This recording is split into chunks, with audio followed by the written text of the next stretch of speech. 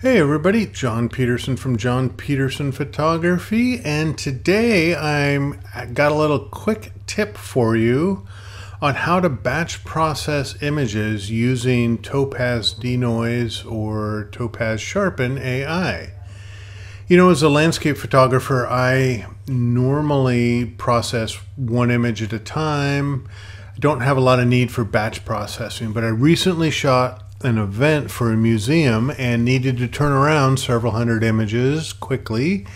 And I wanted to run it through Denoise and Sharpen and uh, needed to find a way to do it. So I did a little research, a little experimentation. So I thought I'd put together a quick little video to show you how it's done in case you have a need for it. You know, I've been using Topaz products for quite a while now and absolutely love their products. They do a great job. The, they use an AI engine to analyze the image and then suggest the right model to either remove noise or sharpen the image. Or you can select what model to use yourself. Either way, it works works great. And they do their work without degrading the image quality and without adding a whole lot of size to an image. I know some previous denoise programs that I used to use would would drastically inflate the image size uh, with extra information and, and kind of writer information and, and the Topaz stuff has worked into my workflow so wonderfully that I can't imagine living without it.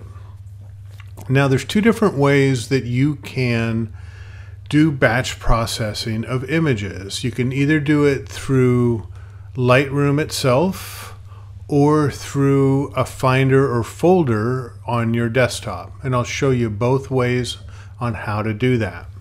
So if you're in Lightroom and you have a couple images that you want to run through, let's say denoise, you select both images, you know, hold down the command or control key, right click on the image, edit in denoise. And this is no different than it you know it, going out to any other third party application outside of lightroom. So you do that. I want to i want to apply these settings with any lightroom adjustments that i've made i'll hit edit and what Lightroom does, it adds a virtual copy into your Lightroom folder like it does for most things when you go to an external editor. It opens up the denoise program.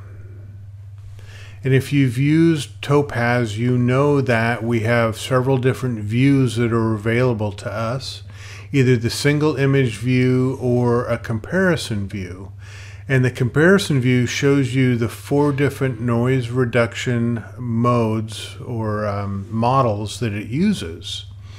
And you could you could visually choose from it if you want. And what's different from, from doing single image denoise is what you see down here at the bottom of the screen. You have both images that I selected listed. And to look at the other image, all you do is click on it and it calls up the single image and it starts applying um, a noise reduction model to it. Now what you can do is, is you can select all and choose what noise reduction model you want to use. Clear, low light, severe noise. I typically use standard or clear are the two that I use the most. Rarely do I um, do I have a need for low light and severe noise. You know, both of my uh, or all of my Fujifilm cameras do a great job with noise, and I really don't have a lot of severe noise in case I'm shooting at you know 12,800 ISO, which doesn't happen very often. Now, there's a couple ways to to easily do this. See this little toggle switch up here? When I click that on, the computer program Topaz Denoise AI is choosing what model to use. And you can see down here because all were selected, it's in an auto program. So when I hit apply, it's going to automatically choose the best uh, model based upon the image. Now, if I wanted to select my own model, not let the computer program choose it, but just select my own model, for this image, I would make sure that it's selected and then I can try out clear. And notice that the toggle, the automatic toggle, uh, turned off and then it updated the image with whatever noise setting that I wanted it to be. And you can see how down here this model is now reflected on this line for this image. So let's say I wanted to have clear for this image because I think it needed a little bit more than standard. And then for the daisy image, I wanted to have standard. So I can choose which model for each image and I can go down the list and see the effects of each model on each individual image. Then when I'm ready to finalize the processing for this, I'll hit select all and I'll hit apply. And you can see how the engine's running, the noise reduction, the sharpening, and then which model, clear and standard. And because these are JPEGs, it doesn't take long, and then it returns the finished images back to me in Lightroom. Pretty simple, pretty easy. Now let's take a look at how to do this if you're working just out of a, find, a Finder folder or a file folder on your desktop. So what you do is really just select the two images or all the images that you want to process. And in this case, I'll use the same two. Right click and on a Mac, it's open with Topaz Denoise. So same thing happens, the program's gonna open up and life is good. And here, you know, you have the same um, capabilities and the same functionality to choose either having the system choose what AI model or choose your own AI model for each individual image. And I want to go standard here. And we can see how that renders. These are fairly small JPEGs, and so the system renders pretty fast. I'm using a, uh, a you know four-year-old iMac. Um, it's fairly powerful, but still, this is a, a computational heavy program. Now, here's where things get a little bit different because when we're working out of a file folder, we're not constrained by Lightroom rules and naming conventions. And so we have a little bit more flexibility working out of a file folder. So when I click Save Image, it's going to ask me do I want to do all of them because I did not check all the boxes, but it's asking me it's basically being helpful and saying, Do you want to do all two? And I'm going to say yes. Now, see this dialog box? This is something that we didn't get when working out of Lightroom. And what it allows you to do is change the file name if you want. So you can either add a prefix or a suffix, something before or something after the original file name and all you do is just type this in um,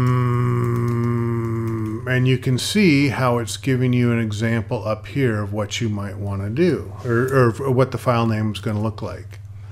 The thing that I didn't want is I didn't want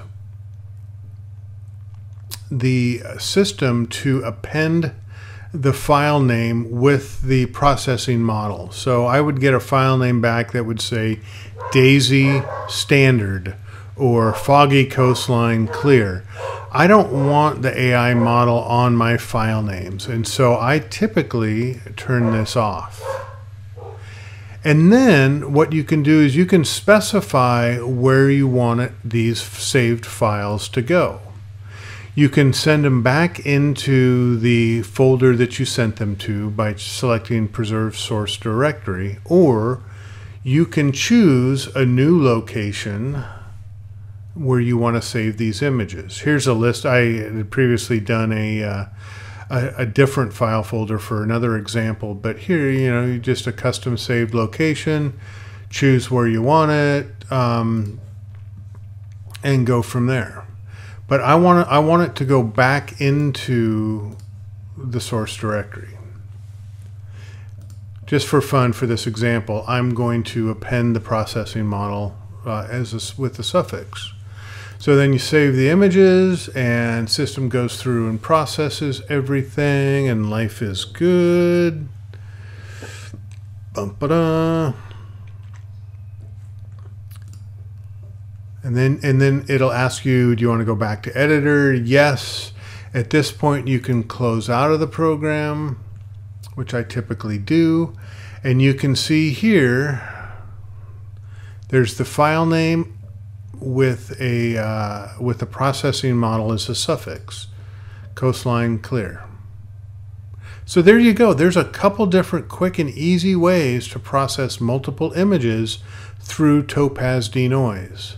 And if you're using Sharpen, the same concepts apply, either from Lightroom or from your file folder.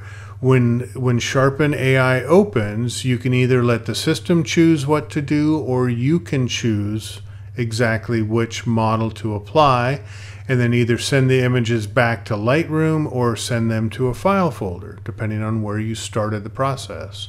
So there you go, folks. I hope that was uh, informational and informative and slightly entertaining. And stay tuned for more. And always subscribe, like, you know, do all that kind of good stuff down below. And we'll talk to you later. Bye bye.